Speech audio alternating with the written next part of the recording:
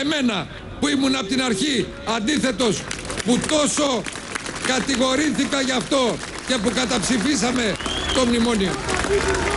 Τι να πει κανείς, πρόκειται για αληθινό παραλήρημα.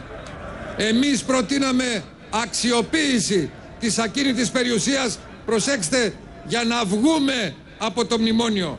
Τώρα η Τρόικα προτείνει εσπευσμένα να πουληθεί δημόσια γη γιατί δεν της βγαίνει το μνημόνιο που με τόση ευκολία υπέγραψε σε μια μέρα μέσα ο κύριος Παπανδρέου και η κυβέρνηση αποκλείει κάθε πώληση αλλά προσυπογράφει τις θέσεις της Τρόικας.